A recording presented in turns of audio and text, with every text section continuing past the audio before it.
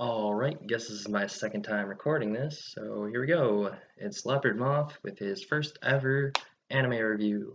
As the Halloween approaches, we all know that uh, it's time to watch scary movies with your friends, and I'm not a scary movie guy, so uh, I grew up with a lot of Japanese kids, so went straight for the anime section on Netflix, trying to find something sort of spooky, more my style though you know, because a lot of these movies that come out, oh, dude, it's just like the most violent thing or the most oppressive thing where there's no real story. It's just a slasher flick or like a jump scare or something. And I can't with that. I just really can't.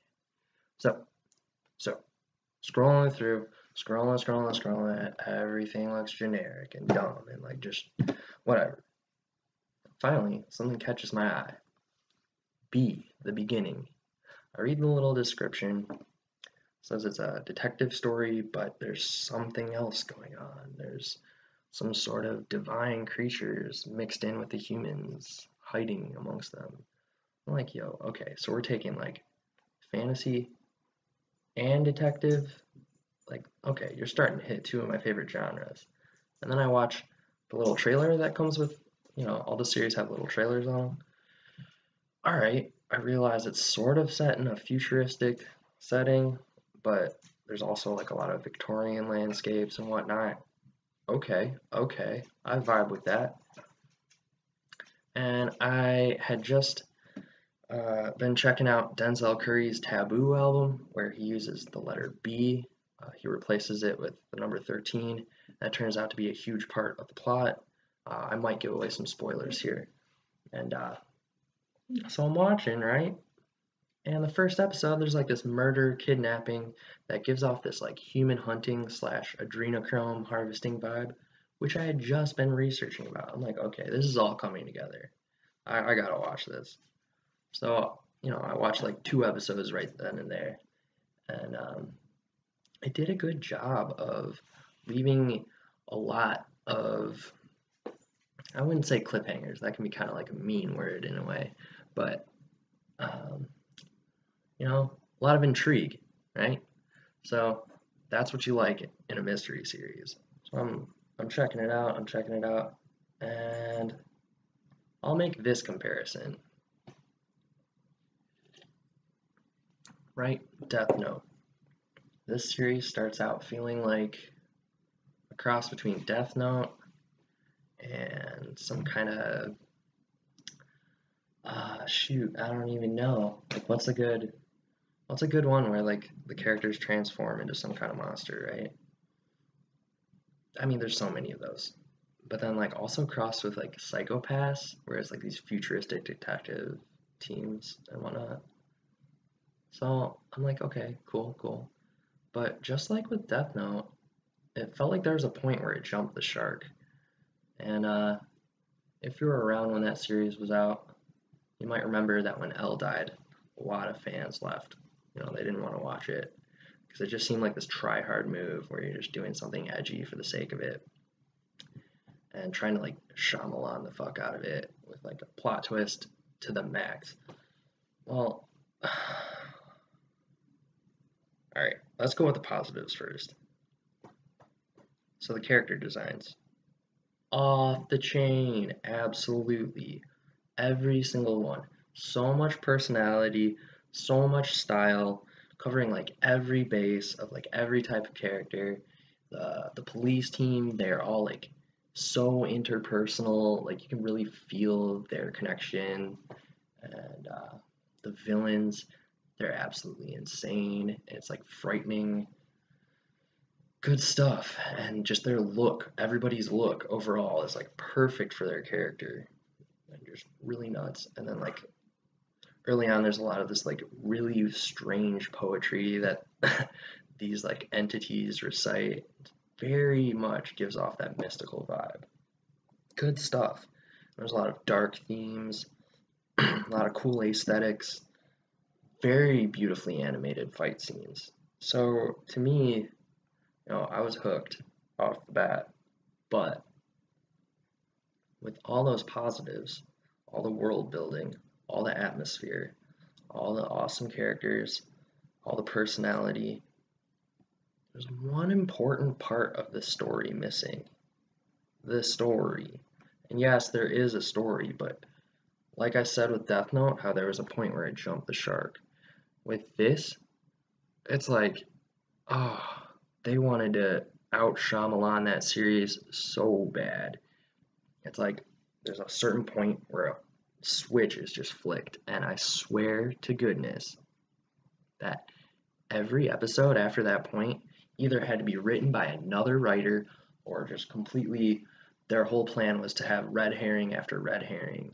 And like the thing that the first red herring is covering up uh, is covering up the next red herring. And it's like it's all just like the story i swear felt like it was erasing itself every episode. Just every bit of like plot progression just went out the window and then they do some complete twist and turn and it was kind of not fun because of that. Like very fun to just watch and soak in the energy of like oh it's like these mystical creatures but it's also sci-fi but it's also a mystery. But the story oh it just like hurt. Oh man like for real every like explanation of a character's motive i swear just like went out the window. And then like at the last second they would explain something but not really explain it. They would like hint at it and then never mention it again. Or like so many moments that just uh, we're gonna like start to go down that path ah forget it. And it just never goes anywhere. I guess maybe one day they could come out with like five more seasons of it and explain all that but i, I really don't think so. Like the characters from this like institution they're supposed to be like the reincarnations of these gods but are they? It's like unsure if they're actually just clones or like what the hell it is and they can like sever their body parts and reattach them to each other or something because one dude has like a sword arm so he gives it to like the king like i don't know how is that explained it's not. It's never given any sort of explanation. Are they mystical or are they like just scientific experiments? And just I don't know. It was really frustrating. Like there's this tablet, right? And it's got these inscriptions and only the one character was able to it's basically this ancient writing that explains the destiny of every character in the series. But then it's almost sort of hinted at later that that was like planted there by the main villain and it's not even real and it's just part of a manipulation.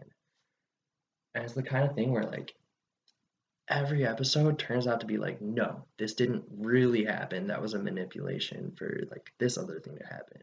This was sleight of hand. You were looking over here, it was right here. That's like cool in theory, but when you're getting invested in the series and like literally nothing pays off because it's all just like yanked away at the last second, I wasn't feeling that. And just like 100% like d- down to the wire at that point. It was like every moment they were just getting rid of like everything that was being worked towards. Like at one point, the king or god or whatever this little guy is uh, he's talking about the girl he likes that he's been chasing the whole series, trying to like rescue her. Um, he basically like briefly mentions that their purpose, the reason they're so connected, is to like carry everyone's memory and their soul or something into the future. What that even means is never explained. It's just like lost completely. And then like for some reason, the location of that tablet gets rid of his ability to regenerate his cells, but not any of his other abilities. Why? No idea. No idea. No idea whatsoever. And then at the very end of it, the enemy, the main enemy, turns out to have the most bullshit reason for everything happening and the worst part is, despite it being a mystery series, the first time they showed that guy, I just knew he was the baddie. oh, I can't even tell you how. I just knew. It was just like, it was too obvious. And, but then like, it, there was no payoff. It was like he's just doing that because he likes to kill, basically. 100%. That's he just likes killing people. So after all of this convoluted story that trails off into all these branches that never have fruit growing from them, no explanation whatsoever. Uh, the guy just felt like doing all that, and that's what caused it. And what's worse is the main character, well, one of the main characters, the detective, is a pretty cool character, but he says in the series that he like has been on the case for eight years. So he's been like I watched this for like two weeks, like every couple days I'd like throw in an episode. But like eight years of that, and then it just turns out to be like just cause. Oh, dude, hell no. Uh, yeah, it was just too many plot twists, and there's like a scene at the after you watch the last credits, there's another end of credit scene. That's another plot twist. Like, dude, come on. We get it. We get it. You like M Night Shyamalan. That's that's pretty much how I want to review it. The best way to sum the series up, in my opinion, uh, early on, the female detective who's like up and comer, promising, and trying to be the best she basically uh, says, you know, we don't know anything about this case. So I think our best course of action is to not think about it and just keep keep moving forward and just don't think about it. Little did she know, she was also describing the best way to watch the series. It's fun, great artwork, great animation, excellent characters, excellent environment. Storyline, I wouldn't say non-existent. I'd say self-destructive. Anyway, this has been the first of potentially more, or potentially the only, anime review on my channel. I hope I didn't scare you. Why would I have scared you? Why did I say that? Fuck. Have a happy Halloween.